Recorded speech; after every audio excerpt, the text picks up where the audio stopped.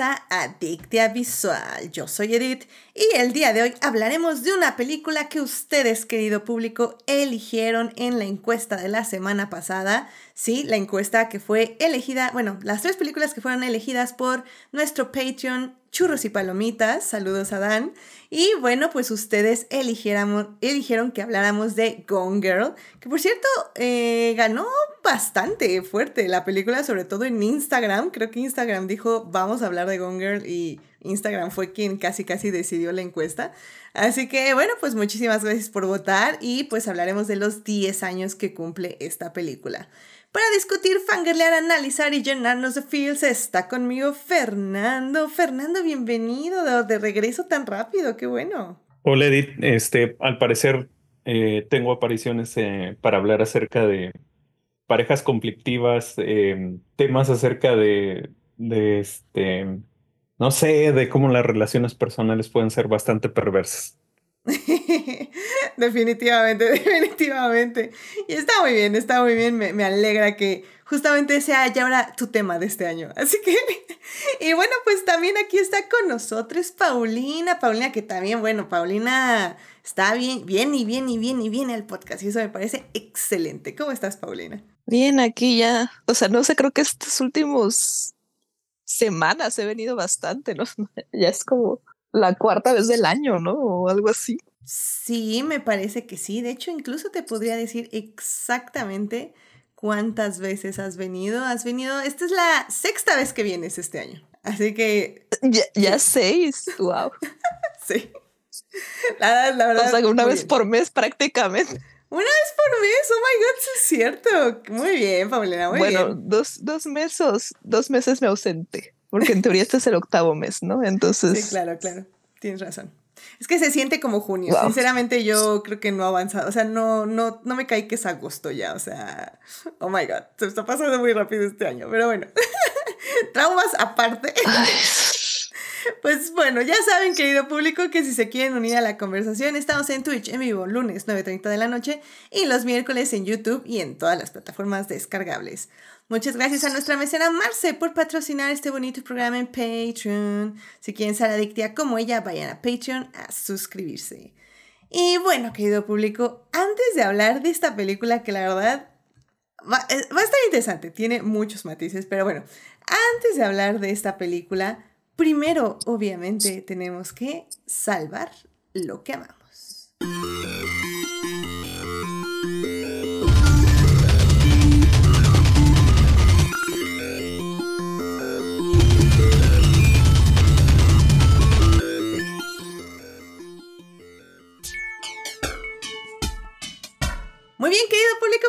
Estamos aquí para salvar lo que amamos. Fernando, ¿qué te gustaría compartir con el público esta semana? Pues, este, siguiendo las órdenes de mi grupo que se llama este, Llegando tarde a todo. Eh, la semana pasada vi junto con mi esposa Scott Pilgrim Takes Off. Este, la verdad me gustó bastante. Me gustó porque no esperaba realmente el tono que, que, que tomaron para contar la historia, hablando de relaciones conflictivas y este, cosas como que ah, eh, las vimos de una manera en, en, en la primera vista y, y, ahora que se toma, digamos, otro ángulo para contar una historia similar, no la misma, pero similar. Y, y lo disfruté tanto que, que por ahí hicimos algunos comentarios en, en un chat que también estás por ahí tú, Edith. Y, y decidí darme un, un brinquito al, al último tomo de la, de la, serie, de la novela gráfica, como para recordar algunas cosas que, que considero muy buenas de, de la historia de Scott Pilgrim. Y sí, me sigue pareciendo una historia bastante buena, relevante, divertida. Este, el humor me sigue pareciendo bastante bueno, aunque pues sí, cada vez estoy más lejano a, a, a los años de los personajes. Ah, muy bueno, digo, eh, así pasa, Fernando. La vida, la vida pasa, los aniversarios no lo están recordando cada dos segundos, pero, pero bueno. Ay, pues muy bien, muy bien, Fernando. ¿Nos puedes nada repetir el nombre? Es, es la. Scott Pilgrim Takes Off. Ajá. Es Takes la Off, ajá. versión animada Exacto. Que, que hizo Netflix el año pasado. De hecho, se supone que por eso yo contraté Netflix, porque ya no tenía Netflix y dije, "Bo- lo voy a contratar nada más para ver la serie y se me olvidó por completo. Este, y por cierto, voy a hacer un comentario por aquí. Dijimos en algún otro espacio, en algún otro podcast, que Edith iba a leer la novela gráfica y pues a lo mejor nos íbamos a juntar a conversar al respecto. Pero bueno, ese es tema de otros asuntos. Uh, no. No, no me esperes, despierto. Ay, sí, no. Qué bueno que no hice ningún Pinky Promise. bueno, diga, algún día, Fernando, algún día. Mira, ¿qué quieres que termine? Eh, ¿Que lea? ¿Qué quieres más bien? ¿Que lea Scott Pilgrim o que termine Cayuga Sama algún día? Oh, Solo puedes- no puedes es que elegir contigo uno. Es imposible. No, sí, es imposible contigo. Y eso también lo tenemos. Bueno, ya. Sí, perdón. Perdón, Fernando. Perdón, Bote también. Perdón, Auriel. A los dos les pido perdón. Algún día, algún día. Pero bueno. Bueno, pues ya lo saben. Vayan a ver Skull Pilgrim Takes Off en Netflix y hagan feliz a Fernando. No sean como yo, que lo decepciona cada dos minutos. Pero bueno. Muchas gracias, Fernando, por traer esto con el público. Eh, ah, y rápidamente, este, Héctor te, te no te manda saludos, Fernando dice saludos a todas las demás personas y porque si alguien sabe algo de perversión es Fernando el traidor, ok. Así que, en fin. Y este Jorge Arturo, que está también en el chat, saludos, dice que Scott Pilgrim se lee rápido. Sí, sí, sí, no, no lo dudo, es que eh, me gusta decepcionar gente, ¿qué te puedo decir, Jorge Arturo? Pero bueno, saludos no, también no a tiene Sofía que está en el suficiente chat. tiempo. Tiene suficiente tiempo, Edith, como para leer miles de fics, este, de no sé cuántas palabras y no sé sé qué. de qué hablas. Pero como hacerle un espacio a otra cosa que no sea lo que la tiene este, dopada a- a- al máximo nivel. Pero bueno, eso son temas que ha- hablemos en, en otros espacios.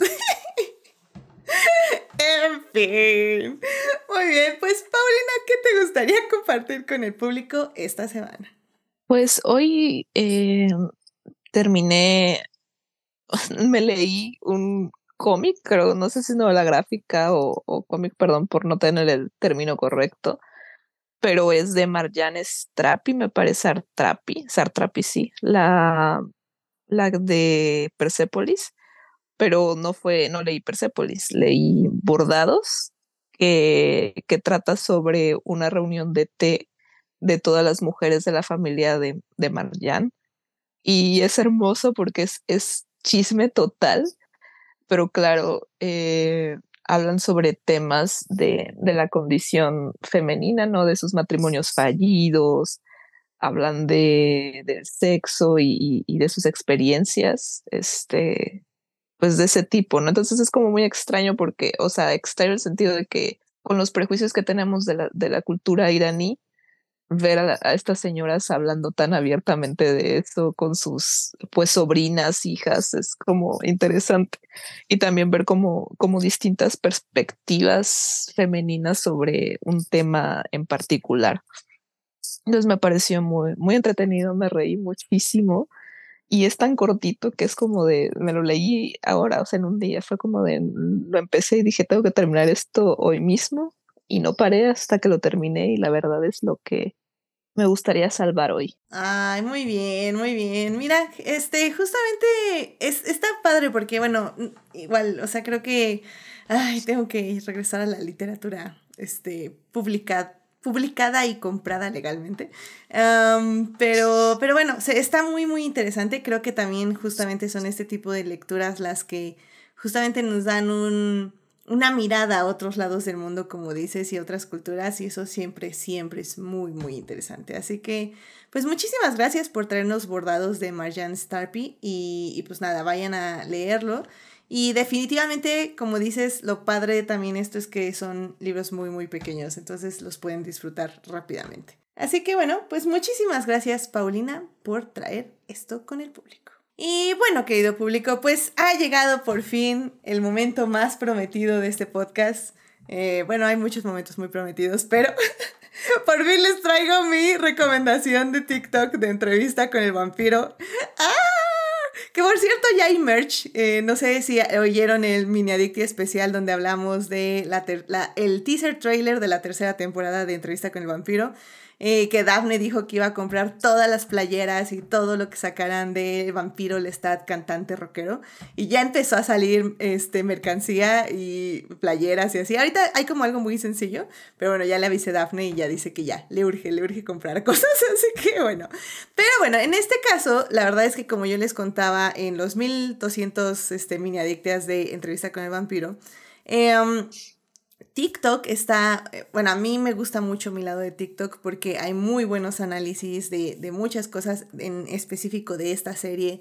Hay muy, muy buenos edits donde efectivamente usan canciones de Taylor Swift, de Hoiser, de así, bueno, de Chappell Rowan, eh, donde eh, retratan estas relaciones de dark romance que están en la serie.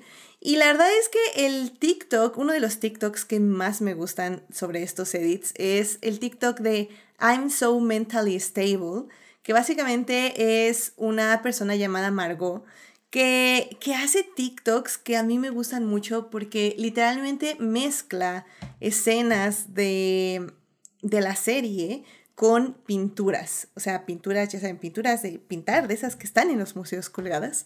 Em, y está muy, muy padre porque literalmente no usa así como cualquier pintura, o sea, realmente usa pinturas que tienen significados para los momentos que se describen, bueno, que elige de las escenas y que evidentemente tienen un lugar con sus personajes y tienen un lugar en el contexto que sus personajes lo están viviendo en ese momento. La verdad es que me parece un trabajo muy, muy bello.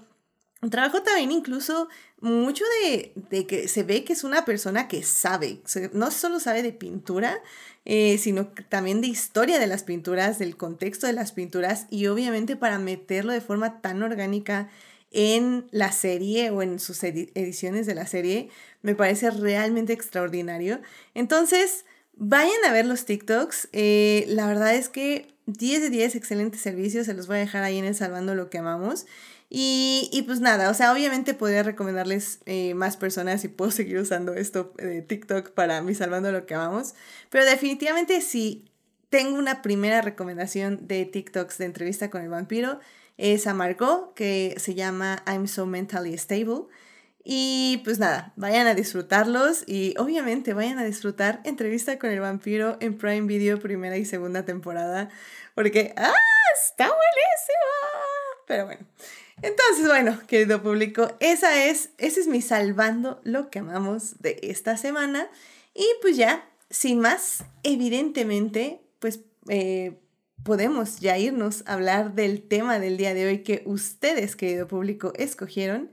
Así que vámonos a hablar de cine.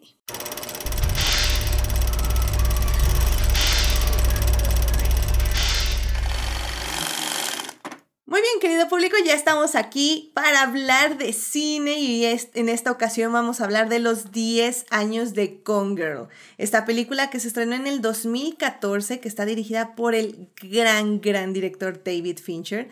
De hecho, no sé, creo que no hemos hablado mucho de David Fincher en este podcast, lo cual me parece muy malo, porque la verdad es que para mí es uno de mis directores favoritos, sinceramente. Así que, si bien no es mi película favorita de él, eh, creo que eh, la verdad, yo cuando ustedes la eligieron, yo no tenía nada de ganas de ver esta película. Literalmente me estaba preguntando por qué fue una opción para encuestas.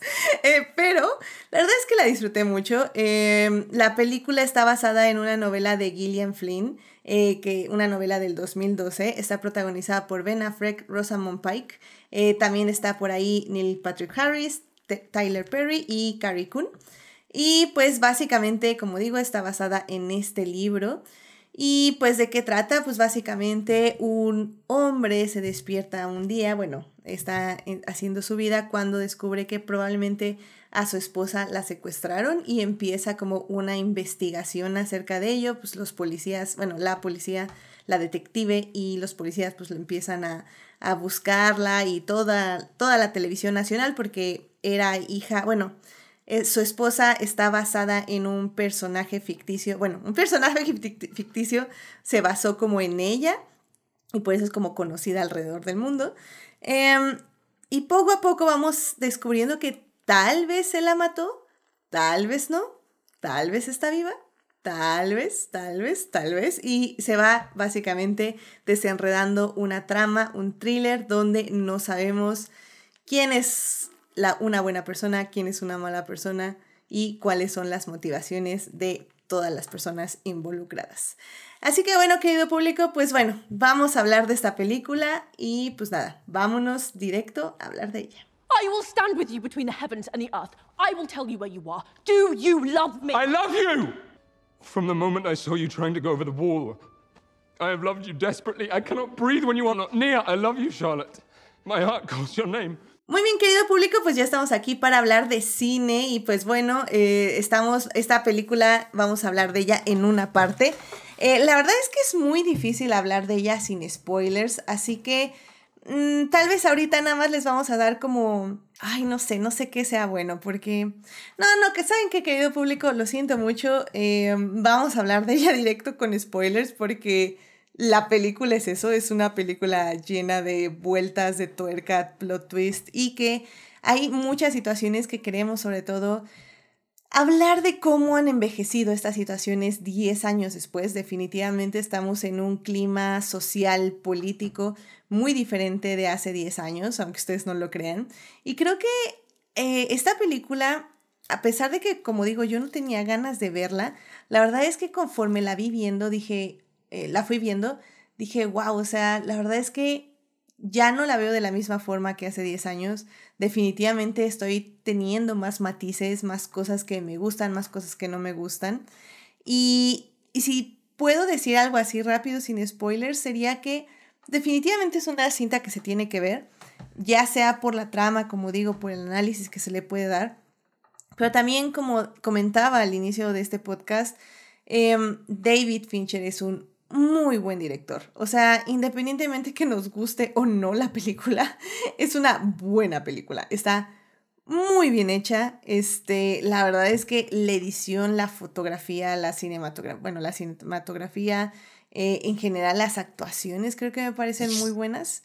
Em, y, y, es, es una, una clase de guion y es una clase de edición. Entonces, en general, en ese aspecto, creo que David Fincher definitivamente no falla. Como digo, puede ser que para mí personalmente no sea su mejor película y yo incluso la pondría de sus de las películas que menos me gustan de él, pero la verdad es que la, la vara está muy, muy alta. O sea, si digo eso es porque realmente todo lo demás me gusta muchísimo más. Entonces, pero, pero bueno, a ver, eh, entonces no se vayan todavía los que no quieren spoilers. Eh, vamos a hablar tantito de ella, sí, sin spoilers. Eh, rápidamente, Fernando, así como a la gente que no ha visto la película, ¿qué les podrías decir tú como em, sobre ella que, que tal vez vale la pena que la chequen? Eh, a, mí me pareció muy interesante como lo que decía Fincher acerca de eh, la manera en la que la película te va llevando. O sea, inicias uh, siendo como el típico caso de lo que ya es muy, muy común, lo que ahorita dices después de 10 años, ya es cada, más, cada vez más común eh, ver programas, este, escuchar podcasts, historias acerca de, de resolver crímenes, ¿no? Lo que se llama un, un procedimiento policial acerca donde te plantean un caso y tienen que resolverlo, entender cómo son todas las cosas que van haciendo para, para llegar a un punto en el que eh, pues descubres qué sucedió, ¿no? Entonces yo creo que ese es el punto de entrada de la película, eh, la primer parte en la que Fincher lo cuenta de esa manera y después cambia un poco a ser hablar mucho más acerca de la relación de una pareja, ¿no? De una pareja que, que desde el inicio te, te, te da pistas de que este, está, está descompuesta, o si no es que es una pareja que, que simplemente avanza como pareja por, por la pura inercia y hasta terminar en un ejercicio a lo mejor como de reflexivo acerca de cómo, cómo eh, te influye la manera de ser de, tu pareja, ¿no? O sea, creo, creo que sí, sí cambia muchísimo el tono hacia la última parte de la película, de la película cuando ya realmente se dio el, el giro de tuerca.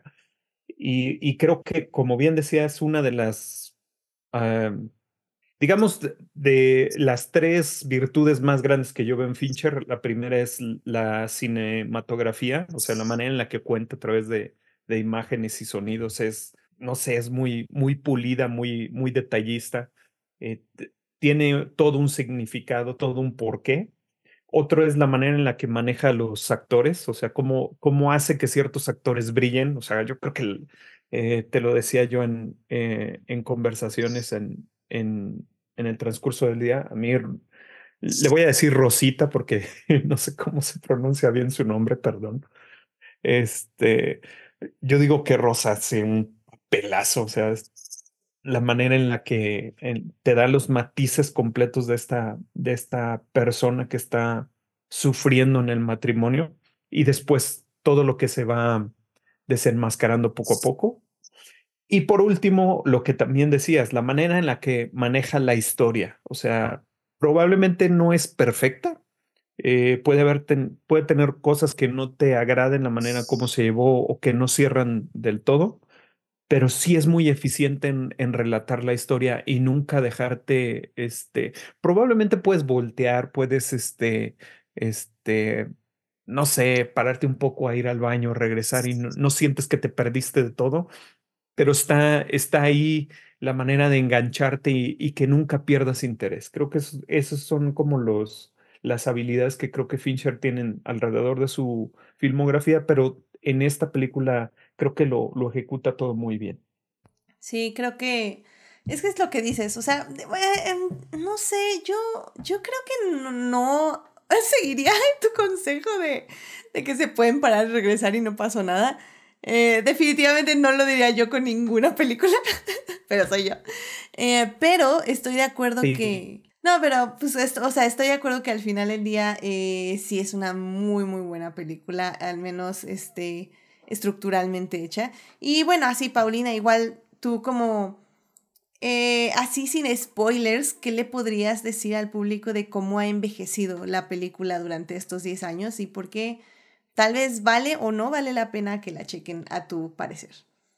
La verdad es que no soy una persona que, o sea, a mí esta película me, me gusta, no, no diría que es de mis películas favoritas, pero la verdad es que la volví a ver ahora por este, por el podcast, ¿verdad? Pero si no, realmente no la volvería a ver.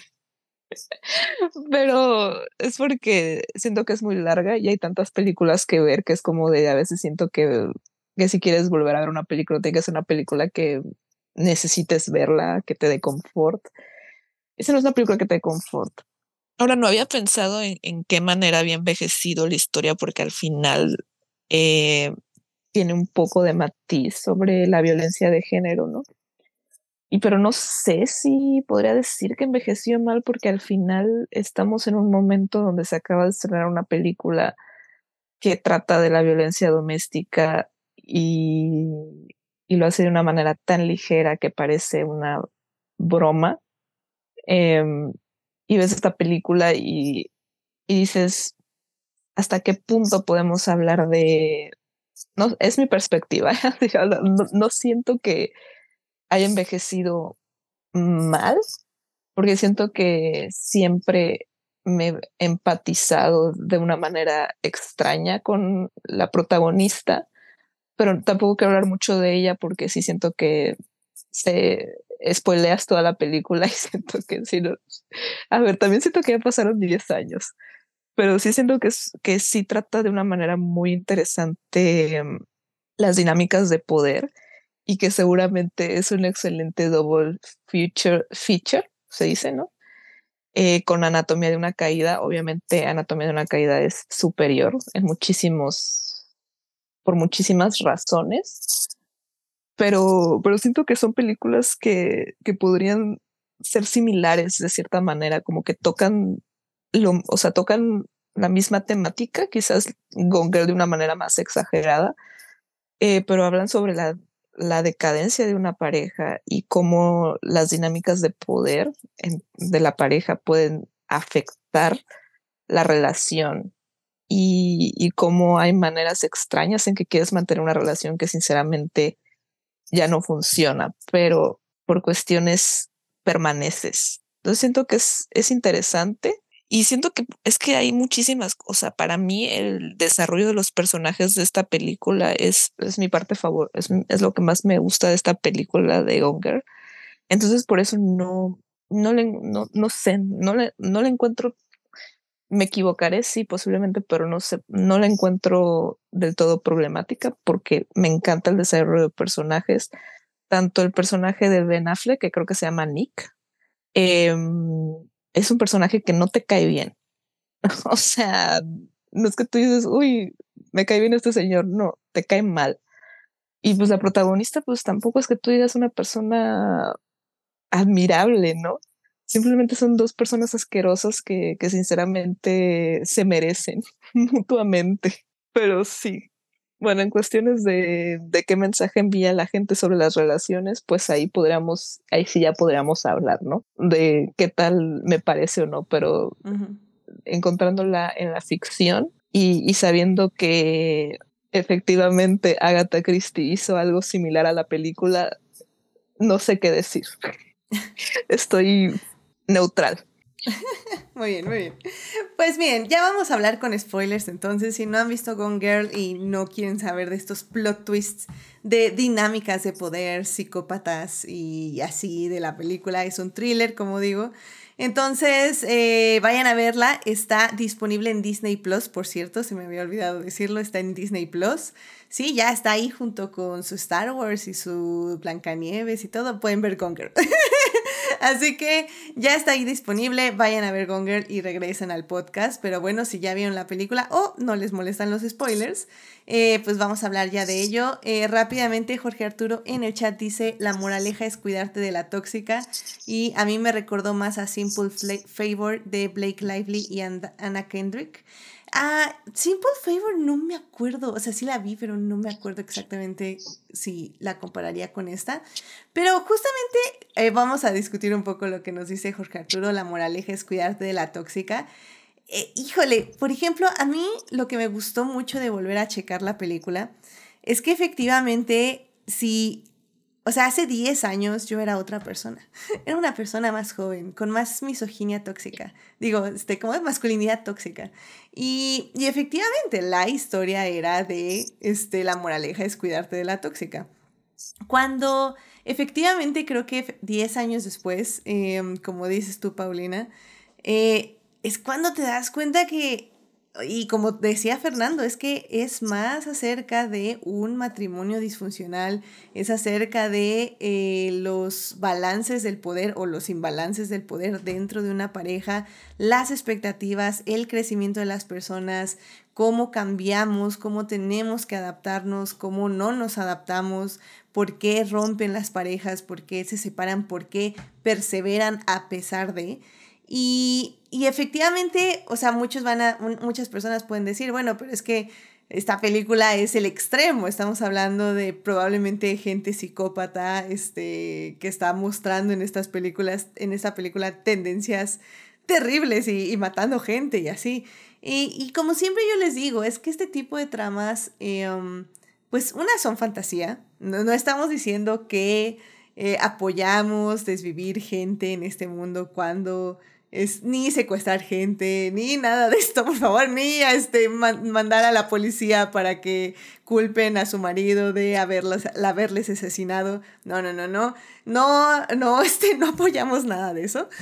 Pero creo que al final del día hay que ver más allá de la metáfora eh, más bien hay que ver esto como una metáfora y efectivamente, o sea, habla de matrimonios y habla de todo lo que ya mencioné, de estos balances de poder, de cómo funcionan estas relaciones y cómo cambian. Y creo que hay algo muy cierto en esto, en la película, que, que viene un poco desde el monólogo de Cool Girl, que fue un monólogo que fue muy popular en su momento, de efectivamente de cómo, sobre todo las mujeres, eh, bueno, o al menos en ese momento es lo que pensamos, que sobre todo las mujeres utilizan estas eh, personalidades para modificar y, y, agradar a otras personas.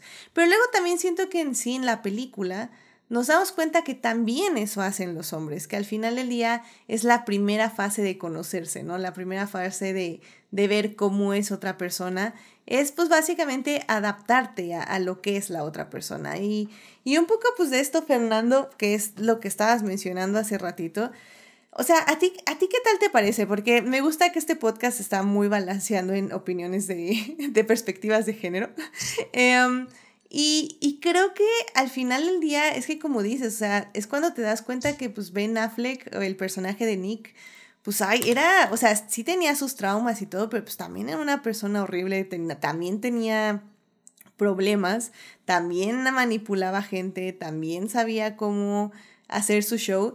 Y, y al final del día, no sé, yo cuando termina la cinta, pues no me siento mal por él porque es un poco su decisión. O sea, mucha gente va a decir que esta, esta Amy lo obligó a quedarse con el bebé, pero realmente no. O sea, la tasa de padres que abandonan a sus familias es muy grande. Y sí, probablemente Amy lo hubiera perseguido, lo hubiera matado. X, vamos a olvidar esa parte. Pero em, creo que su decisión de quedarse también viene un poco porque realmente le gusta, o sea, le gustó la situación en la que se encontraba, por muy fucked up que estuviera, ¿no?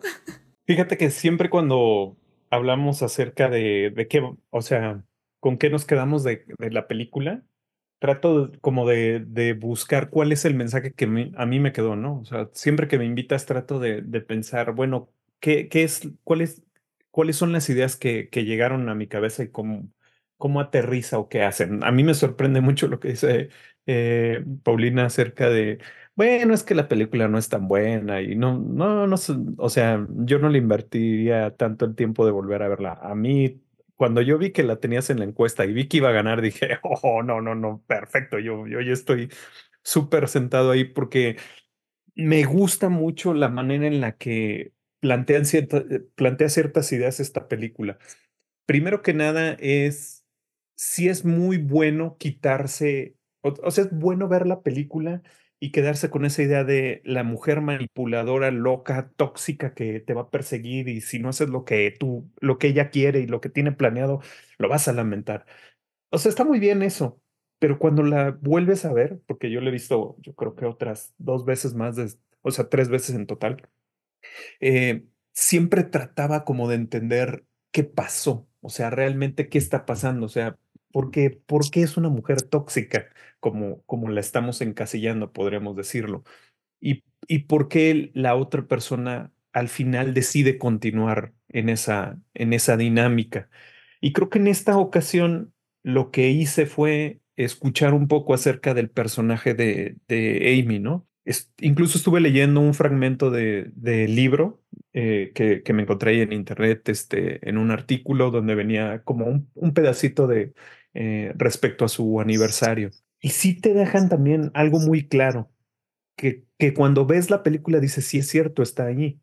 O sea, los papás de Amy la usan horriblemente. O sea, es la historia de una niña que, que usan su nombre y cada, de las cosas, cada una de las cosas que ella hace la llevan a su máxima expresión, ¿no? O sea, la niña eh, toca el, el chelo, es la mejor chelista, ¿no? Este, la niña va a competir voleibol, llega hasta las finales y ella lo dice, o sea, esta niña es mejor que yo en cada uno de los aspectos, pero también esa niña con la que ella tiene que competir constantemente desde que es niña, es la misma que le genera todas sus, eh, podemos decir, todos los beneficios con los que vive, ¿no? O sea, porque te dejan muy claro que el personaje, ella da por un hecho el dinero, o sea, no es como que le guste este, tener dinero, pero obviamente creció con dinero y, sabe que es algo muy importante en su vida.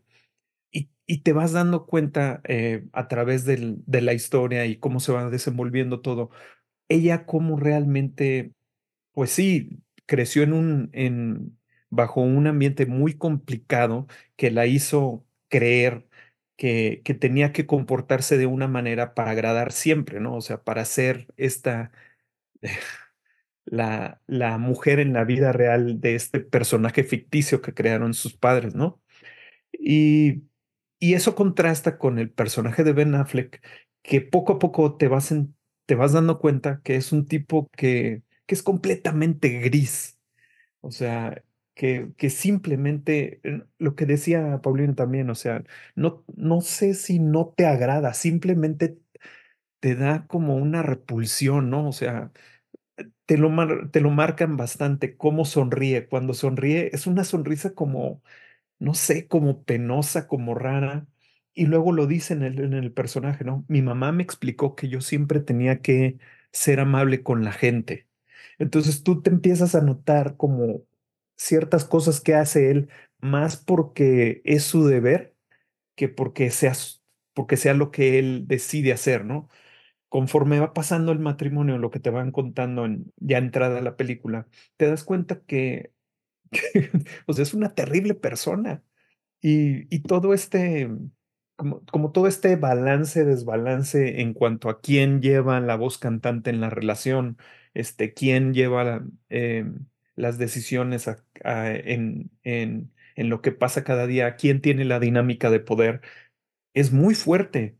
Y, y creo que en esta última vista, a mí me parece que, que sí, o sea, ella está mal, pero él está súper peor, o sea, porque viendo todavía las situaciones en las que está inmerso, decide conscientemente quedarse ahí decide este, sacrificar su, su persona, su ser, con tal de aparentar algo. Eh, aparentar ser un padre, aparentar ser un esposo, aparentar ser una buena persona. Y no sé si eso sea menos mal que la chica que quiso manipular todo para que siempre se dé a la manera que ella quería. No sé, o sea, me parece que este, sí están muy, ah, lo, lo dice el personaje del abogado, ¿no? O sea, son dos personas muy jodidas y, y pues cómo pudieron estar juntos. Sí. bueno, pues antes de, de dar mi, mi, punto, este, Paulina, bueno, pues tú, tú qué opinas de todo esto, evidentemente, y, y, tú también qué opinas de Amy, o sea, digo, ahorita también quiero, quiero la opinión contraria de ambos, pero tú, tú qué opinas de Amy, de la chica cool, de este este diálogo y que al final del día, o sea, la película sí retrata y el personaje sí fue vendido así a Rosamund Pike como una psicópata eh, que realmente sí es, o sea, más allá de efectivamente eh, ser una mujer o de sus traumas que con su familia o todo lo que se le impuso como sociedad y como hija, eh, la película sí la describe como una sociópata, como una persona que efectivamente no eh, interactúa con, con, el mundo como todas las demás personas, o bueno, la mayoría, entre comillas, ¿verdad? Porque sabemos que nadie interactúa con la sociedad de la misma forma, pero, pero definitivamente tenemos como un matiz que efectivamente realza el thriller. Es su personaje realza el thriller y las situaciones en que ella se mete es el thriller de la película. Pero bueno, ¿tú cómo percibes a este personaje, la forma en que maneja las situaciones y la, maneja y la manera que al final del día la película le termina de dar, pues no sé si el final feliz para ella o el final más feliz para ella y, y cómo nosotros percibimos eso tanto hace 10 años como ahora. A mí me dejó pensando el comentario que, que dejaron en, en el Twitch de la tóxica.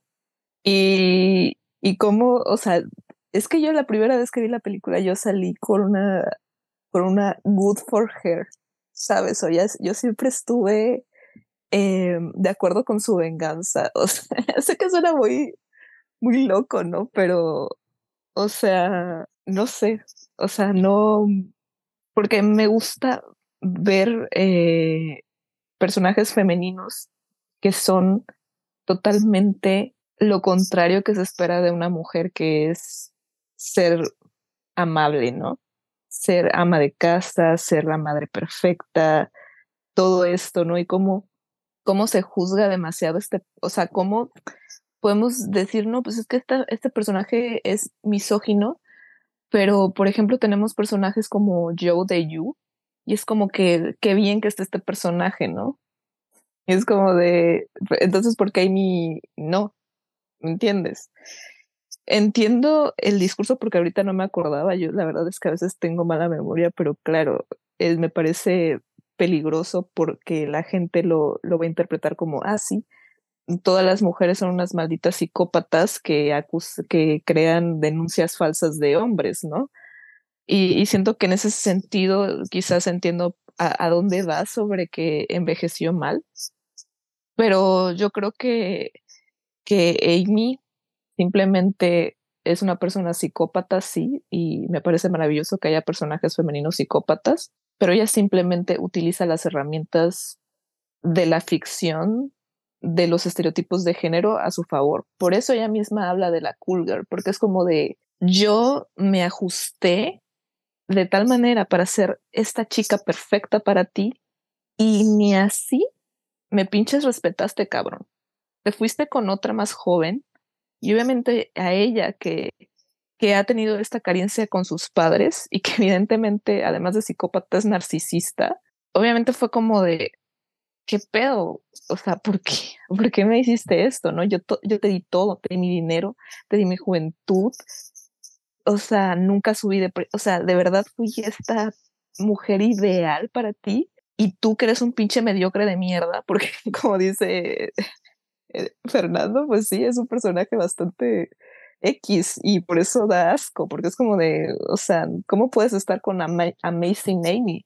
Y yo creo que en parte esa es la razón por la que funciona la dinámica de ellos, porque es como que tiene a Amazing Amy a su brazo, es como de, es su logro y claro, para él ser infiel fue como de, mira, le fue infiel a Amazing Amy, ¿sabes? Es como una cuestión de ego porque su ego está totalmente por los suelos porque ella es quien es la dueña del bar, ella es la dueña de la casa, entonces como que él está muy, muy emasculado, no sé cómo es que tengo la palabra en, en inglés que es emasculated, y claro que eso está mucho presente, por eso digo que es, una historia bastante paralela a Anatomy of the Fall y, habla mucho de, de incluso de las relaciones de género. Sí, te habla de, de, cómo eh, estas constricciones sociales te pueden hacer perder la cabeza. Y le hicieron perder la cabeza totalmente a Amy.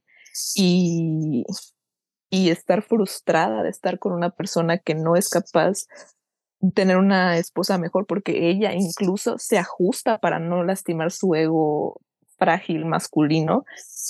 Y, y por eso es tan por eso su venganza es tan intensa porque es como de pinche cabrón. O sea y como la entiendo tanto de que güey es que cómo te vengas de este cabrón obviamente entiendes los juegos y qué tienes a tu favor y pues la verdad es que desgraciadamente sí hay mujeres psicópatas. Entonces es como que vamos a, es así como dicen, no todos los hombres, pues no todas las mujeres van a denunciar falsamente, ¿no?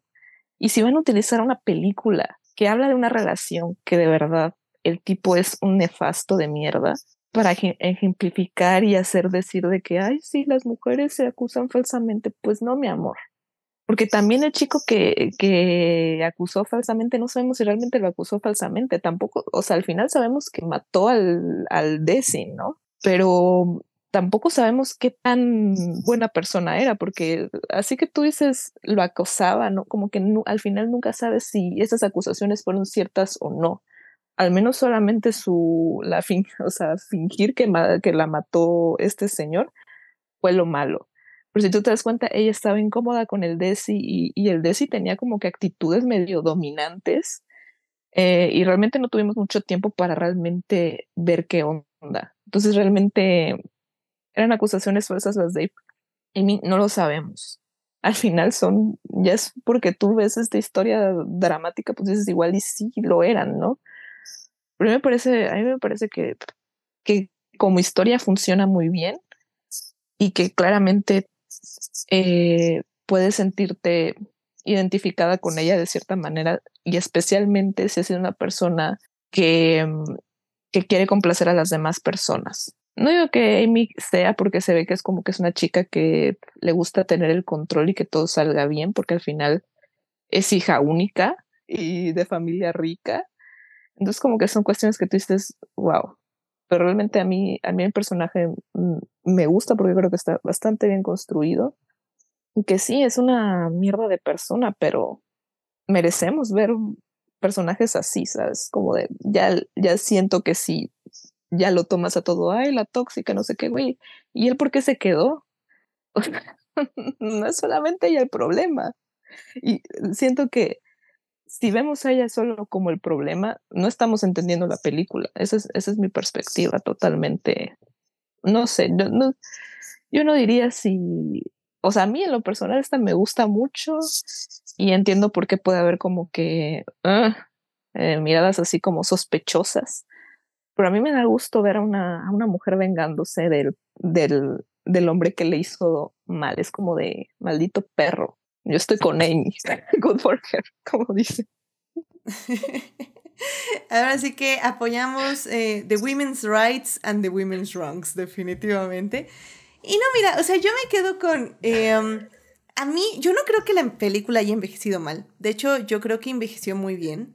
En el aspecto de que efectivamente eh, tenemos más matices. O sea, antes era como nada más la juzgábamos rápidamente diciendo, ah, sí, está loca y el pobre hombre que pues ya se tuvo que sacrificar y quedarse eh, para criar a su hijo no nacido. O sea, y, y creo que no, que ahora creo que ya vemos muchísimo más, o bueno, también es con la edad, tal vez hace 10 años también vieron este análisis, pero al menos yo no. Em, y creo que ahora efectivamente vemos todos los matices y, y, eso es lo que hace que la película en general haya envejecido bien. Y efectivamente es que a mí, sinceramente, ya que terminó la película, dije, me gustó mucho, mucho más de lo que pensé por el simple hecho de que una era una relación tóxica, donde efectivamente ambos están buscando ser lo más tóxicos posibles en un em, terreno, no voy a decir igual, pero al menos en un terreno donde ambos sean iguales en cierta forma. Ahora sí que básicamente como dices, o sea, Amy busca vengarse de Nick. Eh, eh, literalmente ella, la idea de venganza es matarse y que ya efectivamente lo condenen a morir. Pero pues como que mientras va pasando el tiempo dice, no, este mes no me voy a matar, el que sigue tal vez. Y el que sigue, y luego ya quiere vivir. Bueno, y en el momento que ve que Nick ya le está jugando su juego y que ya básicamente está tratando de complacerla en televisión, es cuando dice, ah, no, no, espérame, tengo que regresar con este cuate. Y, y, literal, y eso es súper buenísimo porque no por balconear las fics que leo, pero ese es el tipo de dinámica tóxica que yo digo, oh sí, amo esa dinámica tóxica. Entonces cuando ella regresa con Nick y, y, le dice, a ver, a ver, es que tú elegiste esto, tú me llamaste casi, casi con tu entrevista. Ahora sí que esta, esta relación va a ser posesiva, obsesiva, y si no te gusta, literalmente vas a valer.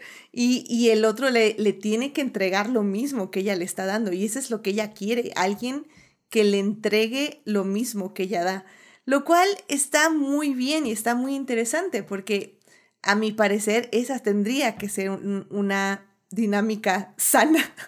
Aunque en este caso de la película es muy tóxica y muy horrible, en una dinámica sana debería ser efectivamente dos personas que den y entreguen exactamente lo mismo en el mismo nivel.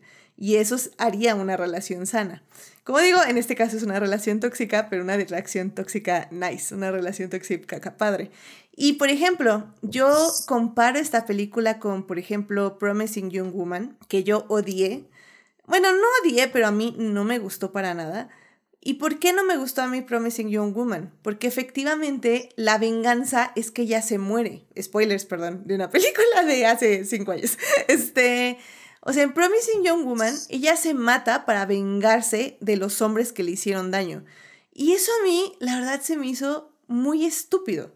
En o sea, no en el, o sea, no digo que el personaje sea estúpido de Promising Young Woman, sino que el concepto no me parece una buena venganza, porque en qué momento tú morirte es la perfecta venganza para, para literalmente que te, te este, se eximan de su culpa. O sea, eso a mí, por ejemplo, lo di por completo. Y con Girl me dio exactamente lo contrario. Me dio efectivamente una, historia de venganza, una historia donde ella sí, eh, literalmente, efectivamente de ser efectivo, su método, se venga y no se muere. O sea, ella sigue viviendo y, y, y sigue viviendo para ser tóxicamente feliz. Y creo que eso es a mí lo que me gustó mucho de esta película al final, porque dije, wow, o sea, hace, hace 10 años ya hacíamos, bueno, al menos Fincher y esta autora eh, del libro, está Gillian Flyer, ahorita les digo, este... Flynn. Flynn, sí, está, eh, la, la autora, está Gillian Flynn, eh, realmente tenía la idea correcta sobre la venganza, que es efectivamente vengarte chido, casi casi meter a, bueno, sentenciar a tu, a la persona con la que te estás vengando a la muerte. Pero al final del día decir, bueno, pues sabes qué, pues ya, ya que entendiste que hiciste mal y ya que literalmente me estás casi casi pidiendo perdón y ya estás como en mi mismo nivel de toxicidad, vamos a ser tóxicamente felices. Y eso a mí me gusta. O sea, creo que por eso creo yo que la, la, película envejeció muy bien. Y sí, mucha gente probablemente ya de estar pensando como, Edith, tienes problemas, para lo cual yo les voy a decir que efectivamente yo lo sé, no se preocupen. Está ya, está ya platicado con profesionales de la salud. Pero me gusta mucho. es que, me gusta mucho. Yo, tengo ahí algunos temas que quiero este, porque así como decías, aquí tenemos los dos puntos de vista. Yo ya quiero entrar a, a, poner perspectiva algo que dijeron. Punto número uno. Este, creo que el, eh, era una historia en la que los dos estaban pretendiendo ser algo más de lo que era. O sea, Amy, aunque seguía en la frustración de ser esta chica en la que se supone que tiene que ser todo perfecto, todo le ha salido bien, o sea, vive con todos los lujos, es súper inteligente, sus, sus papás la tienen como podremos decir en, en lo mejor, no es feliz, o sea, no, no es ella misma. Entonces encuentra este tipo que es escritor, que también tiene que aparentar ser de una manera como para igualarse. Entonces se encuentran y los dos se enamoran y, empiezan esta relación que les va muy bien hasta cuando es la presentación esta del libro donde eh, se va a casar el personaje que, que, basaron en ella, ¿no? Y, y va esta, o sea, obviamente para el tipo de personas que les gusta la atención y les gusta este tipo de sucesos, se le declara de una manera bastante buena, ¿no? O sea, donde tiene los reflectores, es inteligente, la manera en la que manejan a la prensa y todo, y se vuelve todo en torno a ella, más que al personaje que sus papás este, crearon, ¿no? Entonces le da ese, ese sentimiento de que ella es más importante que el personaje que, que sus papás están haciendo, que ella también puede tener ese momento de felicidad, de, de ser la protagonista de su vida y empiezan a pasar algún, te, lo cuentan, el primero y segundo año fueron pues geniales para ellos. El problema viene, como en cualquier matrimonio, cuando empieza a haber obstáculos realmente importantes. En el caso de la película te, te lo dicen, es una recesión, es una falta de dinero de los dos lados. Por el lado de, de Nick, de que no tiene un trabajo y entonces ahora sí se vuelve completamente dependiente del dinero que tiene ella, que es cuando realmente ella se pone en el poder, donde llega al poder y realmente desde ahí, creo yo, en, en mi perspectiva, nunca lo suelta. O sea, pese a que por las circunstancias Nick se vuelve un mantenido, un perezoso, un, un tipo de, pues la verdad, sin, sin muchas ganas de, de hacer algo, cuando le llega la noticia de que su madre está enferma, él actúa por instinto, él, él trata de, preservar algo que, que es algo muy suyo, algo que él considera que es muy preciado, y decide cambiarse a, Missouri sin consultarla a ella, pero volvamos de nuevo al punto. Ella es la que compra la casa, ella es la que pone el negocio, como ya, bien decía Paulina. Ella sigue siendo la que manda en la relación eh, en el estilo del poder aunque él regresa a una zona donde él puede estar un poco más em, tranquilo, por así decirlo, donde ya puede tener un confort diferente, está con su familia, está con su hermana, con la que vemos que tiene muy buena relación, pero realmente él sigue siendo un, tipo muy miserable. Y creo que cada vez se va haciendo eh, más evidente cómo, cómo no tienen, o sea, después de este descalabro eh, financiero y que empiezan a comunicarse mal donde empiezan a transformarse en el tipo de personas que no quieren ser, es entonces cuando él comete el error de serle infiel. Pero seamos honestos, Amy ya lo tiene completamente manipulado ahí. O sea, el hecho de que él le sea infiel es como otra vez una nota más acerca del, tipo de, de, de, persona que es Nick, ¿no? O sea, que no puede decidir y decir, ¿sabes qué? Termino ya con esto. O sea, sé que esto no va a ningún lado, no está siendo bueno para mí. Yo no voy a ser esa persona que ella quiere. Y entonces se rompe todo esto, ¿no?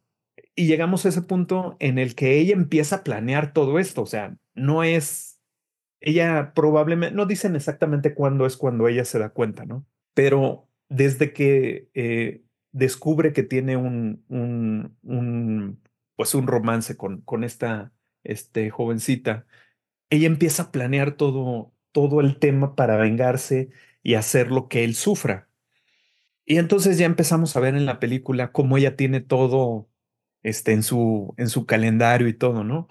Y, y empieza ella a sentirse muy mal, a, a sacar eh, pues todo esto que le está pasando y todo. Pero me parece que la escena en la que ella se encuentra en el hotel con la, esta chica campirana, no sé cómo, cómo decirle, este, con la que está, él empieza, eh, empieza a convivir con ella y llega el momento cumbre en el que le dice, es que yo veo que esa chica a la que este, le está pasando eso, que está perdida y que el mono se lo merece, porque es una niña, rica, caprichuda, que hizo lo que ella quiso y pues ni modo, o sea, todo tiene consecuencias y le, o sea, le tocó que, que, que se la jodieran.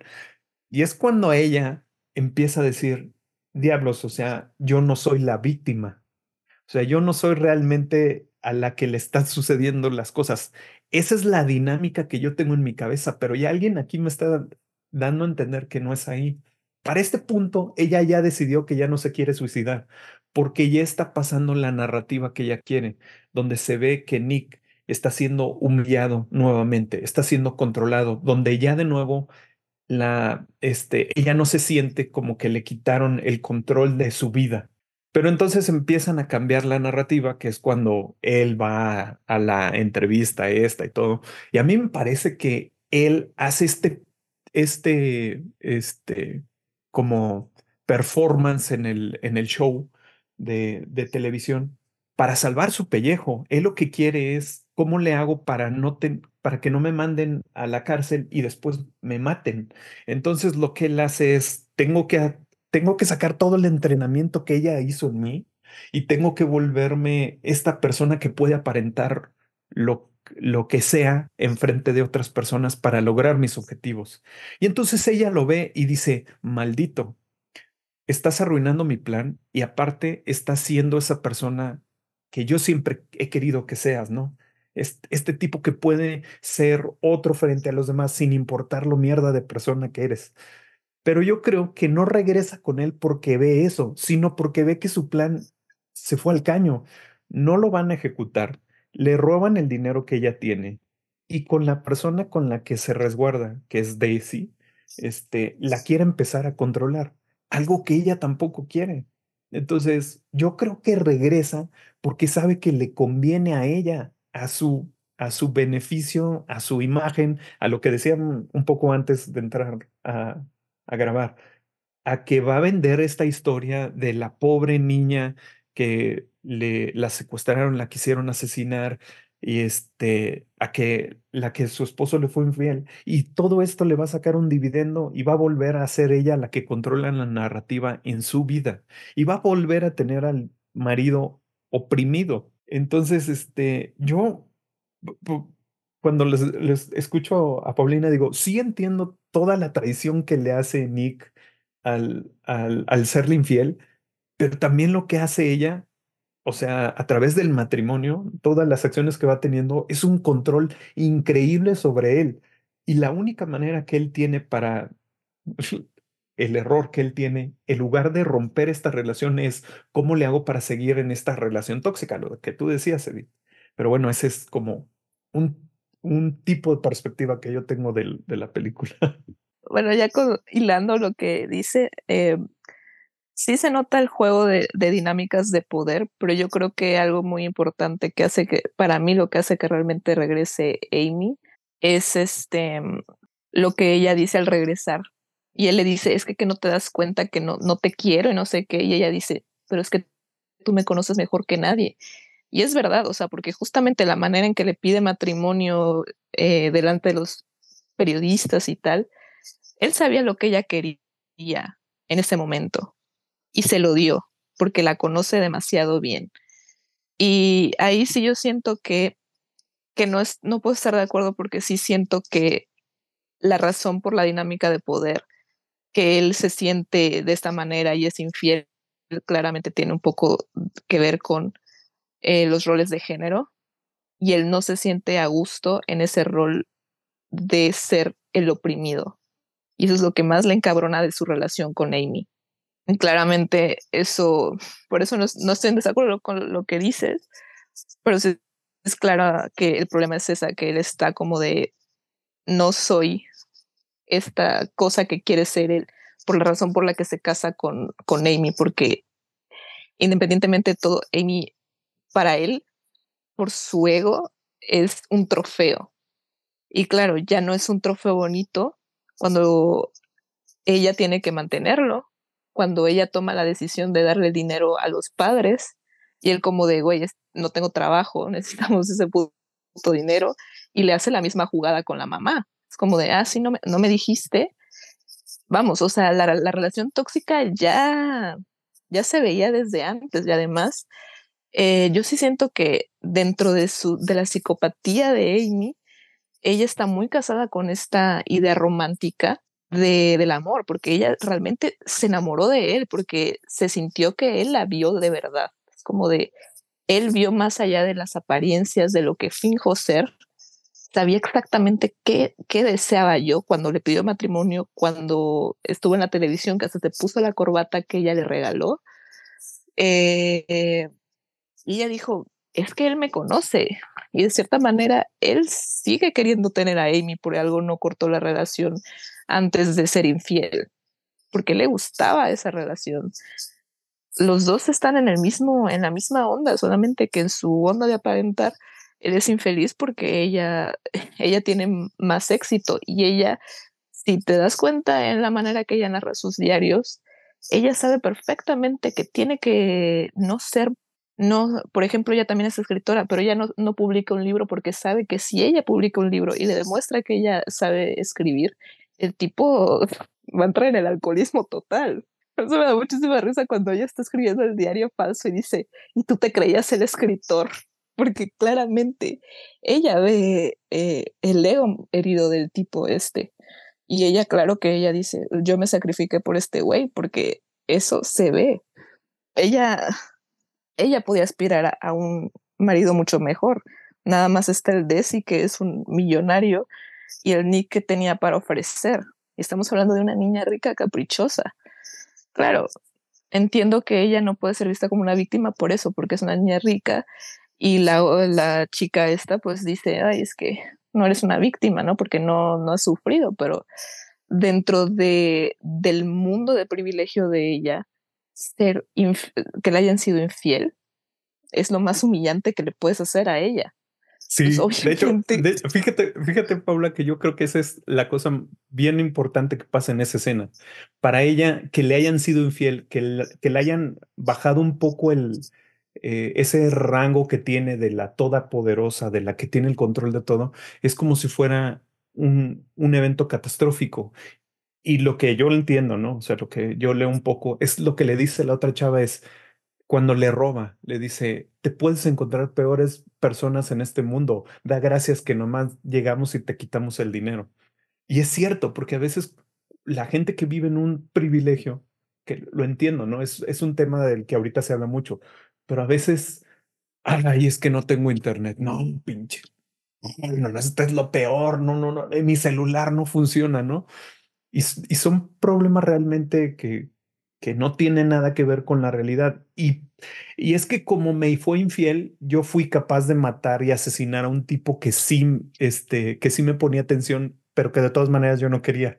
Entonces, este, sí, como dices, este grado de psicopatía de Amy es como completamente desbordado, mientras el grado de, de, inmadurez, de tontería de Nick, de baja autoestima, no se compara. Bueno, yo lo veo, ¿no? Es incomparable con, no sé, con la capacidad, lo que decían ustedes ahorita. Disfrutas tanto cómo planeó todo, cómo es tan brillante en, en, en ver a futuro muchas cosas, en cómo manipuló todo. Este, es, es tan exquisita la manera en la que Amy hace las cosas solo por, por un error que, pues digamos, este, no porque alguien te sea infiel, tú tienes derecho a matar a otra persona, ¿no? Creo que es, que es un balance que hace muy bien Nick, que dice, o sea, te das cuenta cómo sacaste todo de proporción simplemente porque te fui infiel. Pero bueno, perdón, vuelvo a callar. No, está bien, porque sí, o sea, eso no justifica nada. Pero también es como que, es como que ella también ese asesinato ya lo ve como un acto de amor. ¿Sabes? O sea, dentro de su mundo enfermo, es un acto de amor. Le dice, ¿quién más va a decir que ha matado por ti? Nadie. Ve lo mucho que te amo, cabrón. Y yo creo que en parte eso también le gustó a Nick, en su mente enferma de, de baja autoestima, ¿no? Así como de, wow, esta mujer inteligente mató por mí. Porque él como que dice, ay, sí, me quiero ir, me quiero ir, me quiero ir, pero, pero nunca se va. Y además, él cuando va a la televisión, él quería que regresara a Amy. No tanto porque ella regresara a él, sino para que le salvara el pellejo. Y dijo, la única manera que voy a hacer que, que venga es declarándole mi amor, ¿sabes? Así que, pues, que, que él se merece todo eso. Que por cierto, en mi libro, lo único que le faltó a Amy fue hacer el cuerpo en forma de corazón y regalárselo. Eh, referencia a Hannibal para que no la agarró. Ay, y es que sí, así es el amor entre psicópatas que le vamos a hacer. Es, es, muy, es muy lindo, muy romántico, muy sangriento. Y sí, en ese aspecto estoy de acuerdo. O sea, efectivamente, eh, para ella eso fue un acto de amor. O sea, literalmente fue, mira lo que tuve que hacer para regresar contigo y estar contigo, ¿no? Y, y pues, ¿quién, quién, a ver, ¿quién otra persona vas a encontrar que haga esto por ti? nadie. y lo cual es cierto, y por eso digo que ese tipo de romances tóxicos es muy, muy interesante, porque efectivamente, pues hablan de, o sea, creo que me parece muy interesante justamente ahorita todo lo que estuvieron diciendo en ese aspecto de que, o sea, justo lo que hablábamos al inicio, todos los matices que se les pueden dar y las interpretaciones que tenemos en base a nuestras experiencias, a nuestras vivencias, a lo que hemos visto con otras personas, a lo que sabemos eh, de dinámicas de poder, lo que sabemos y lo que hemos vivido de esto. Entonces, o sea, la verdad es que por eso creo que para mí, al menos personalmente, es una película que ha envejecido bastante bien por esto, porque efectivamente podemos discutirla y podemos... Y al final del día creo que no es que alguien va a tener la razón, simplemente son diferentes puntos de vista y diferentes análisis y eso también funciona. Y y nada, o sea, creo que incluso tal vez mi visión es un poquito más relajada en el aspecto de que me gusta más como esta idea de dos psicópatas que se encuentran, eh, son felices, luego empiezan a caer en la em, comodidad, en la rutina, y pues hay algo que tienen que hacer para volver a despertarse, ¿no? Y volver a despertar esa dependencia y obsesión y posesividad. ¿Qué digo? Como digo, también tal vez la estoy sobrevendiendo, no es ese tipo de dark romance tampoco, pero creo que en general tiene esos tonos y eso está también muy, muy interesante. Incluso, digo, no sé por qué en este momento me acordé de la película de Mr. and Mrs. Smith, um, la, la, terrible película que marcó eh, un comienzo también horrible para la pobre de Angelina Jolie, pero...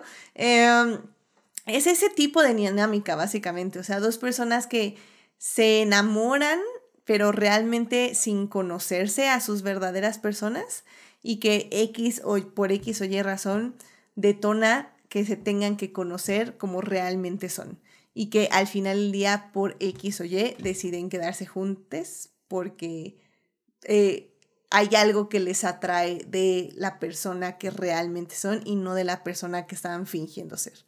Entonces, pues bueno, eh, realmente creo que, eh, como digo, esta película se da para estos análisis y creo que ya podemos empezar a cerrar porque definitivamente hay muchos matices y hay muchas cosas que podríamos seguir haciendo, pero creo que ya tenemos como la superficie de lo que realmente encontramos y eso también me gusta mucho. Pero bueno, em, ¿hay algo más que quieras mencionar, Fernando, de todo esto antes de ir a las conclusiones? Sí, hay, hay unas cosas que me parecen, ah, yo, yo creo que es una cuestión tanto del guion como, como lo que quiso plasmar Fincher. Ah, hay unos momentos en, lo que esto parece una, una película policíaca. Eh, las luces, o sea, la iluminación, la manera en la que vas avanzando sobre las calles, cómo, cómo están dialogando los, los personajes, cómo, cómo hay ciertas interacciones, pero luego pasas a unos puntos donde parece que estás metido en un, en un noticiero sensacionalista, ¿no? Tan así es la toma cuando ella regresa a casa, o sea, en el coche se baja, está toda sangrada, lo ve y corre y se tira y se desvanece. Y entonces cuando se desvanece, la toma que hace Fincher es una toma donde está un poco como en el aire y se va hacia arriba para que sea en picada y tú veas la cabeza, todo desde arriba, ¿no?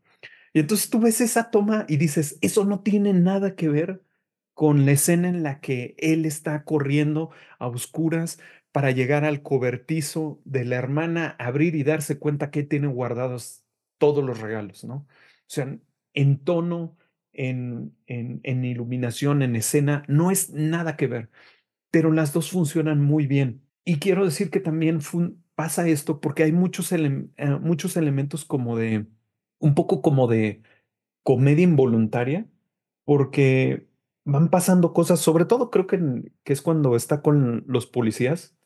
A mí me encanta la manera en la que está eh, personificada la, la detective, porque es fría, es directa lo que tiene que hacer, es, es muy imparcial, o sea, ella es la última en decir, este, este tipo lo hizo. O sea, tiene que reunir todas las pruebas antes de decirlo. Pero en cambio, el, el policía, el detective junior, por así decirlo, el que es su compañero, a cada rato está diciendo comentarios que, que uno dice, ay, este baboso ya volvió a abrir la boca. Pero es, es, es estos como momentos de, liberar tensión que también hablan un poco de, de lo que piensa la gente un poco en el juicio muy rápido. Es que maldito es un, este, es un mujeriego. Míralo, ya se está riendo. O sea, hay, hay muchas como decisiones de tomas, de detalles que son muy importantes a la construcción del tono en general y de los personajes. En el primer día llegan los papás de Amy y al segundo día ya tienen su número telefónico para este para juntar dinero, la página para que te metas, este, ya tienen armado dónde va a ser eh, la convocatoria para que todos empiecen a buscarla. O sea, los papás ya están buscando, o sea, ya están pensando en el siguiente paso, cómo hacen para imagen explotarla, ¿no? También el, el, el punto ya más adelante cuando estás viendo que ella ya está en la casa de, de Daisy y se supone que está destrozada, ¿no? Porque todo lo que le pasó y todo, pero está viendo la peli, o sea, está viendo la entrevista en televisión comiéndose un yogur, una nieve, no sé, y tú le ves la cara como que completamente este, fuera del papel, ¿no? O sea, está así como maldito desgraciado, no tienes que decir eso y, ah, o sea, este personaje está construido de una manera como muy detallada, muy, muy preparada. El, el, la escena, esta escena cuando es el asesinato en, en, la cama, es una escena como, no sé, me parece muy impactante, a la vez muy bien armada, sangrienta sin tener que ser gore. Eh, no, o sea, tiene, muchos detalles en cuanto a, a todos estos, como pequeñas cosas que que si las atrapas te, te quedan para siempre. A mí me, me recuerdo dos cosas para acabar.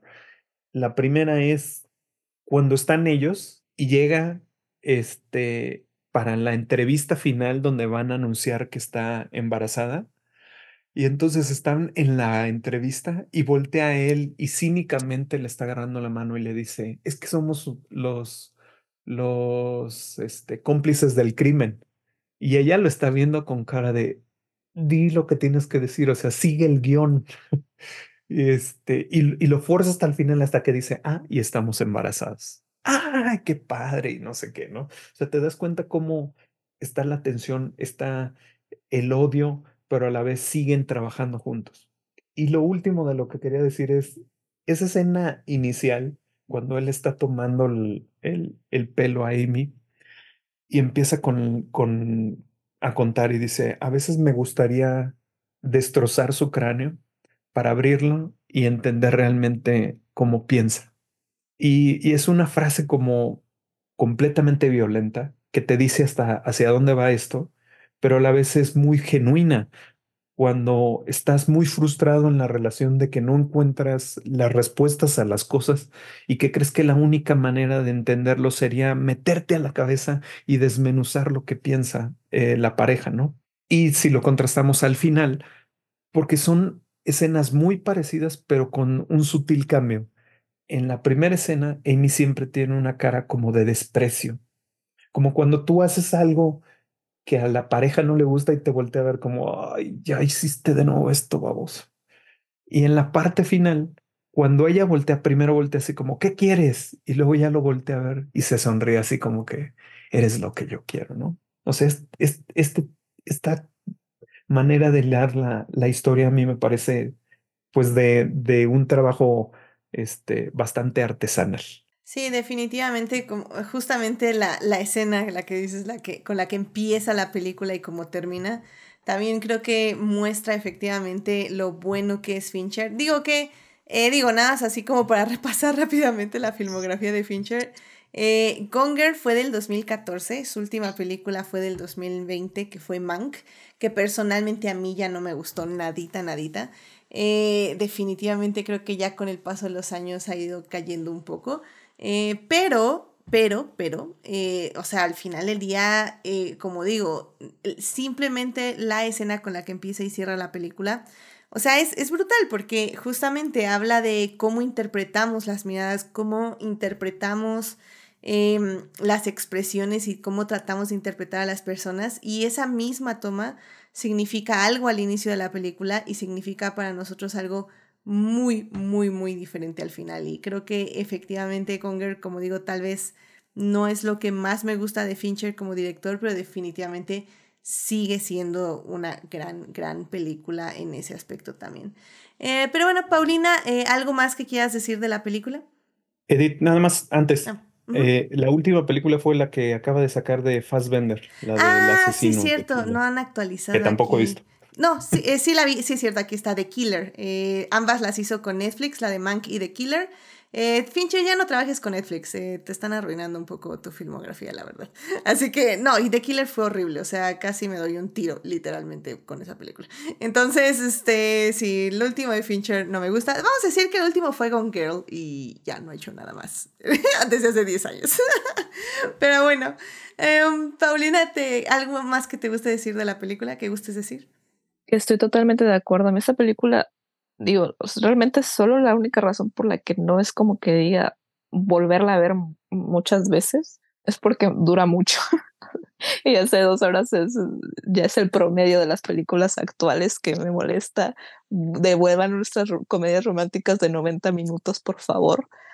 Este se hace una muy buena película y más que nada por, por el trabajo tan bien hecho, ¿no? O sea, de comenzar con esa frase ya te está diciendo, ya te está mandando a que él es el culpable y además de que se comporta de maneras culpa de una persona culpable. Y, y luego que te dicen, no, mi ciela, ¿tú crees que este personaje, o sea, que la Amazing Amy iba a estar muerta por a manos de su marido nefasto? No, no, no. Esto es una venganza. Me parece maravilloso. O sea, ese plot twist me parece maravilloso. Y luego no se acaba ahí el plot twist, porque es cuando él se da cuenta de lo que hizo la, ella y es como de puta madre en la que me metiste.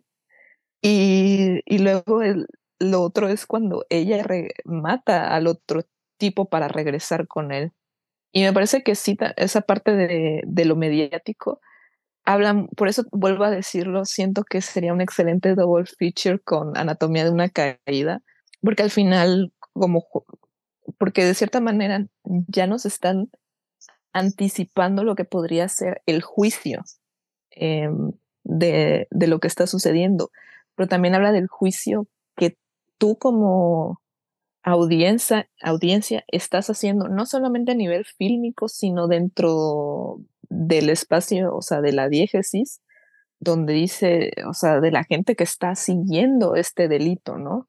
Ya te están, o sea, como que está muy, bien hecho y realmente de, de que al final te dicen, al final lo que importa es la manera en que se está contando la historia, no tanto los hechos. Y juega mucho con eso eh, el director, entonces está muy bien, muy bien hecha la película. Una lástima que no, no me dan ganas de leer la novela porque seguramente ha de ser una verdadera delicia leer lo que dice esta señora, porque para crear esta, esta historia, madre mía, que creo que también es la que hay una serie que está basada en otro libro de ella, ¿no? Lo de Sharp, Sharp Objects, creo que se llama, creo que también está basada en un libro de ah, ella. y me parece maravilloso. Mm, me parece que sí, ¿eh? no me hagas mucho caso.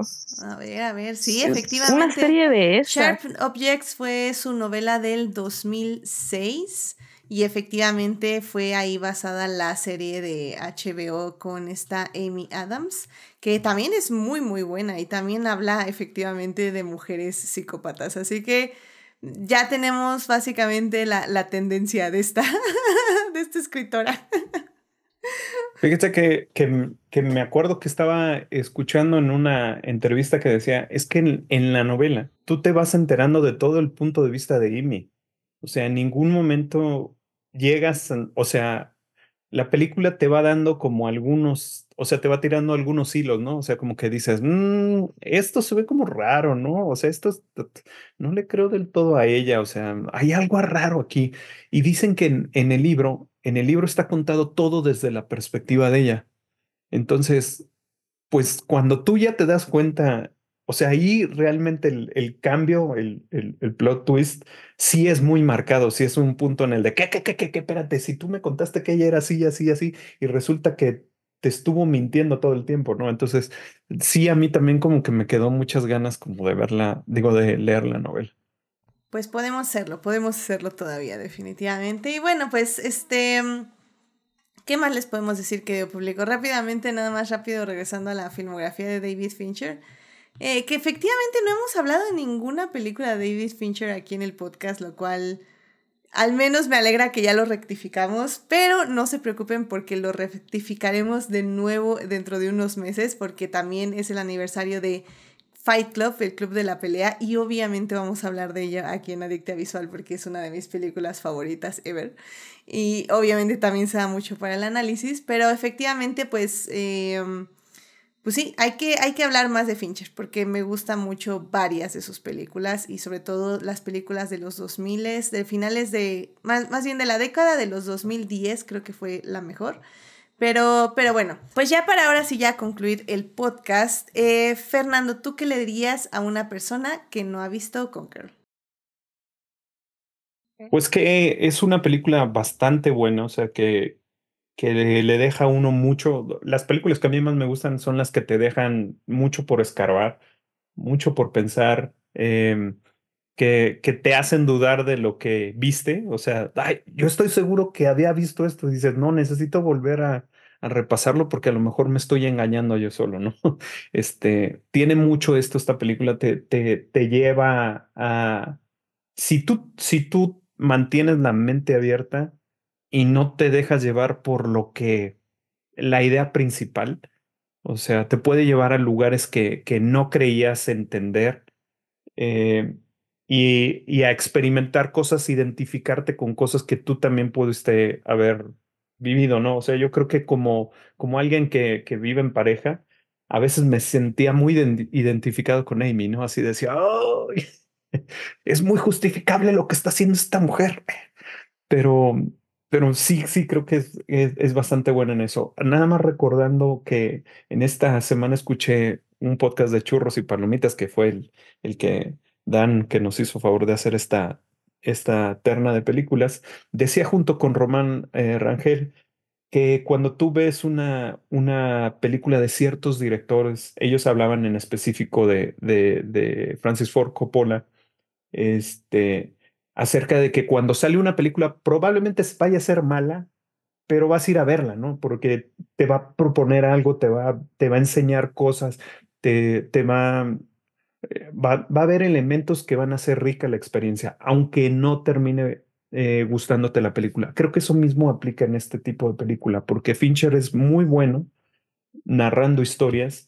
Probablemente pueda que no te guste el, el mensaje final de la película o el tono o la duración, como ahorita decía Pablo, Paulina, pero, este, pero es una película que sí, creo yo que sí vale el, el tiempo que se invirtió para verla. Muy bien. Paulina, ¿qué le dirías a alguien que no ha visto Gone Girl? Mm, que esta película es para las personas que les gusta el thriller, este, mm, la venganza, eh, la ira femenina, porque esto sí es ira femenina, no lo que tiene Pearl, gracias.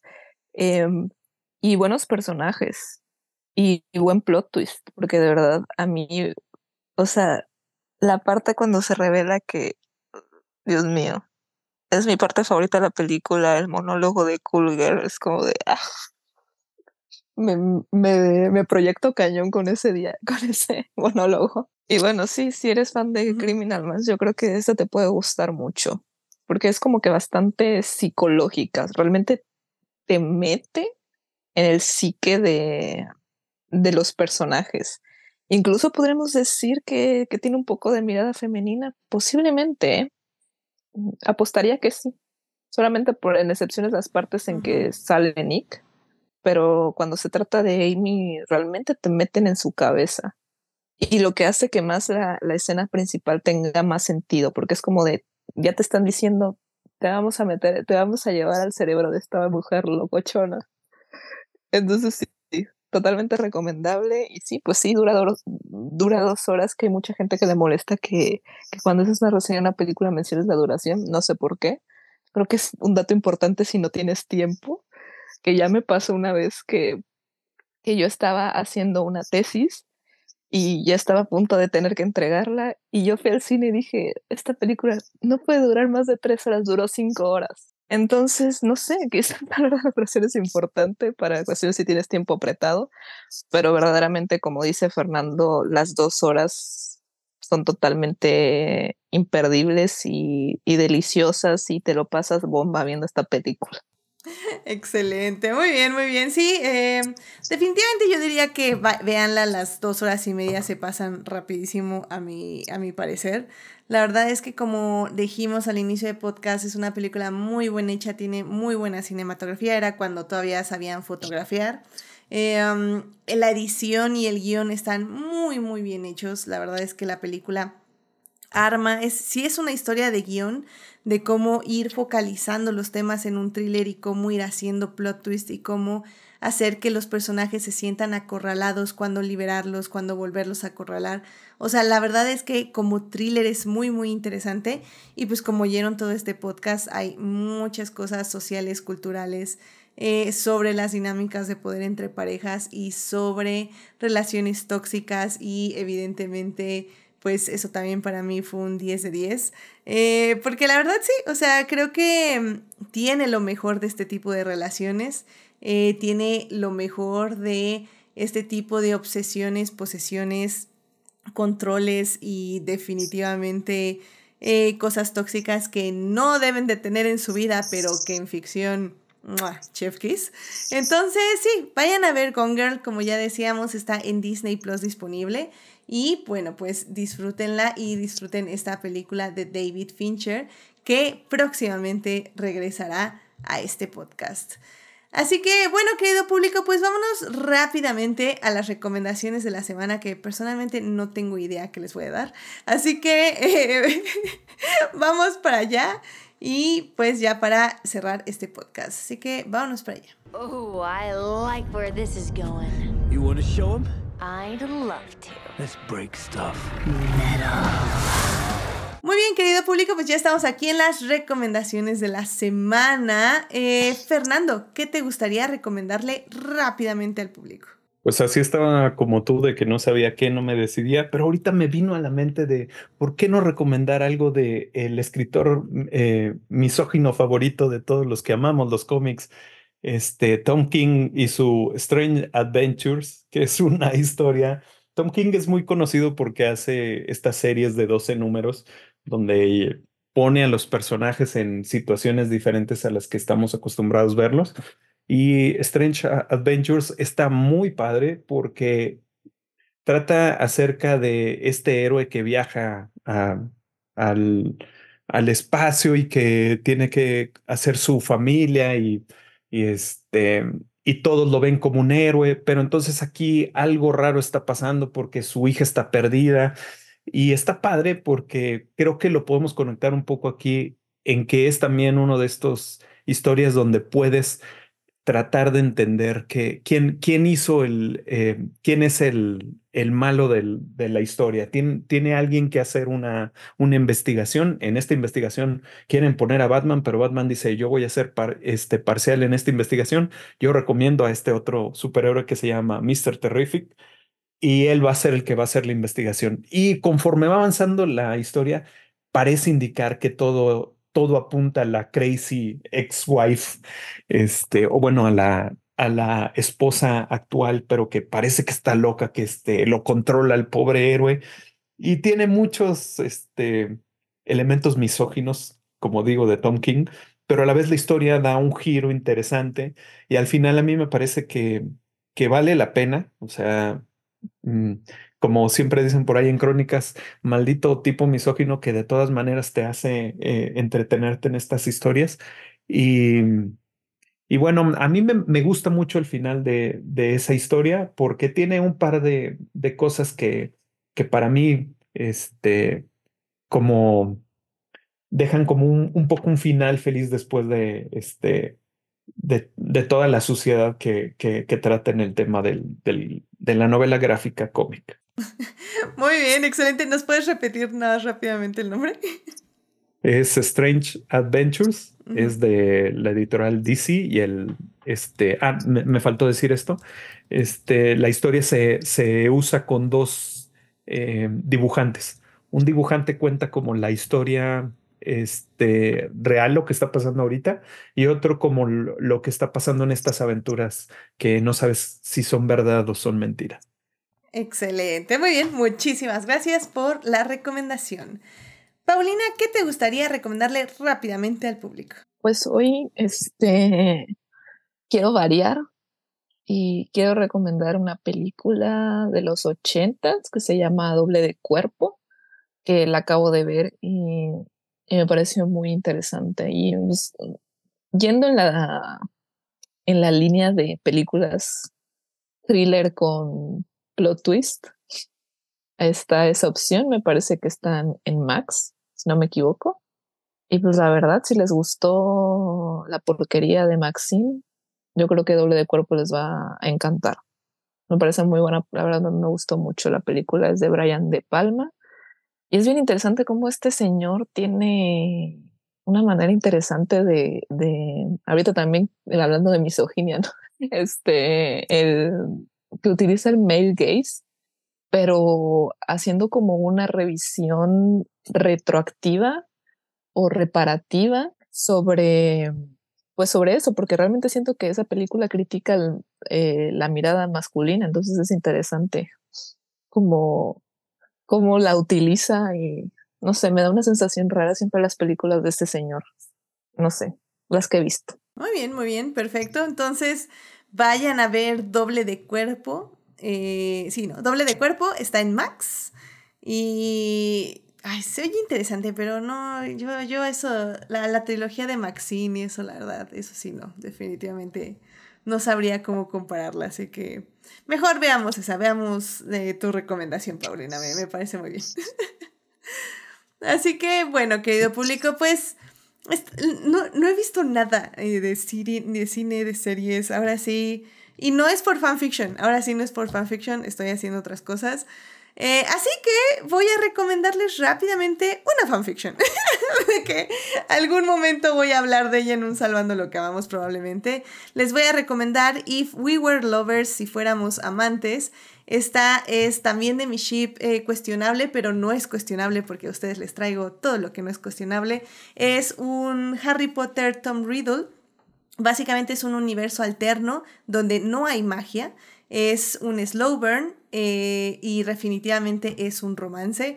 Me gustó muchísimo, es súper linda, es algo larga la FIC, es 277 mil palabras, que es más o menos, ah, vamos a decir que dos libros de Harry Potter grandes.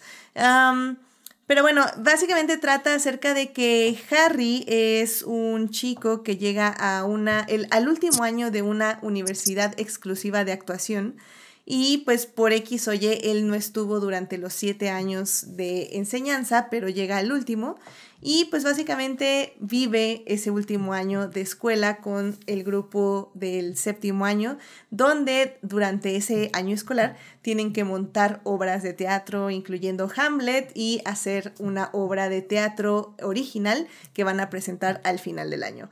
Entonces, como digo, es un universo alterno, no tiene nada que ver con la magia, están los personajes que conocemos de Harry Potter con sus características de esencia de personajes, pero están en un setting completamente diferente.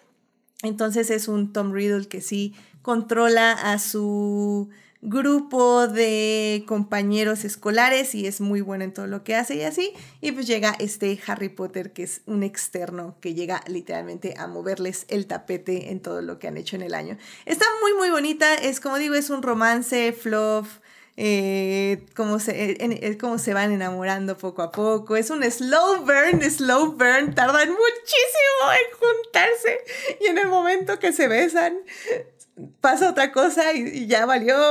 está muy buena. Me gustó muchísimo. La verdad es que se las recomiendo mucho si no quieren leer algo con magia o algo así. O sea, que quieren leer casi, casi una obra independiente de Harry Potter. Está perfecto. Y aparte les obliga un poco a leer Hamlet en inglés. A mí me obligó un poco a eso y la verdad es que lo disfruté porque así incluso me leí Hamlet, que nunca había leído en inglés. Así que para que no digan que el fanfiction tampoco este, nos aleja de la literatura clásica, el fanfiction nos acerca a la literatura clásica. Así que bueno, querido público, pues ya con eso llegamos al final de este podcast. Por cierto, ay, ay, se me olvidó, se me olvidó. Eh, If We Were Lovers está escrita por Reggie BLK. Nada más para que la vayan a escuchar, a leer, perdón, en AO3, como siempre, ya saben, de aquí, de ahí son mis recomendaciones. Así que bueno, querido público, ahora sí, llegamos al final de este podcast. Muchísimas gracias por acompañarnos en este bonito programa de Congirl décimo aniversario. Eh, Fernando, Paulina, muchísimas gracias por venir. Fernando, gracias por venir. ¿Dónde te puede encontrar nuestro público? Este, me pueden encontrar en la tachita como FDO Alonso. Y pues ya, ahí me pueden dejar mensajes. Normalmente escribo mucho de carritos, pero si me escriben de otra cosa, también este, contesto de otra cosa. Excelente, muchísimas gracias. Paulina, muchísimas, muchísimas gracias por venir. ¿Dónde te puede encontrar nuestro público? Eh, me encuentran en Instagram, eh, Cinemeater, creo que se escribe así. La verdad es que nunca me, ni yo me acuerdo, soy un poco disléxica, así que lo siento. En Letterboxd estoy como Paulina Cano, me parece. Entonces ahí pueden encontrarme y echarse el chismecito de, de las películas que estoy viendo. He estado muy activa últimamente. Ay, qué bueno. Entonces, ahí pueden encontrarme. Qué bueno que hay gente que todavía puede, puede, ver películas y series.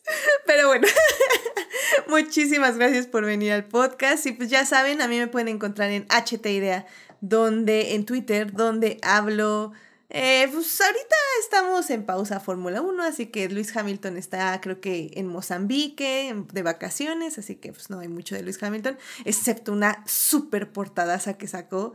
Uf, ya ni me acuerdo de dónde es Squire, él. ¡Ay! Estuvo buenísima. Pero bueno. ¿No era una eh, Harper Bazaar? Ándale, sí, sí, cierto, era Bazar. Sí, sí, sí, la verdad no me acordaba, pero ah, qué buena foto. Pero bueno, eh, y bueno, pues estoy hablando pues por ahí de entrevista con el vampiro, Hannibal, ya saben, Dark Romance, It's My Thing, y algunas, y luego de ahí de vez en cuando menciono fanfiction. Pero bueno, eh, suscríbanse al canal de Twitch para que les avise cuando estemos en vivo y nos acompañen como estuvo aquí en el Twitch, eh, estuvo Héctor, estuvo Sofía, Jorge Arturo y Marsalis21. Muchísimas gracias por unirse ahí al chat en Twitch. También muchas gracias a quienes nos oyen durante la semana en YouTube, Overcast, Spotify o en su reproductor favorito. Este programa estará disponible ahí a partir del miércoles en la mañana. Saludos a Jessica. Eh, Jorge Arturo, Julián, Luis, Miguel, Monólogo Random, Oscar, Pamela y Uriel, quienes son parte del team diferidos. También muchísimas gracias a quienes siguen comentando en los mini adictas de entrevista con el vampiro. Qué bueno que les encanta la serie y que encuentran nuestro podcast en español para oír hablar de ella. Así que muchísimas gracias a quienes comentan ahí también. Y bueno, asimismo, muchas gracias de todo corazón a nuestras mecenas adicties, churros y palomitas, que quien fue quien eligió la encuesta de este programa. Así que muchas gracias a Dan por este, darnos sus tres opciones de películas y que ustedes, querido público, pudieran elegir de la que hablábamos el día de hoy. Eh, también gracias a Fernando, Héctor, quienes nos apoyan junto con nuestra adictia Adnival Simena y nuestra adictia Marce en el Patreon del programa.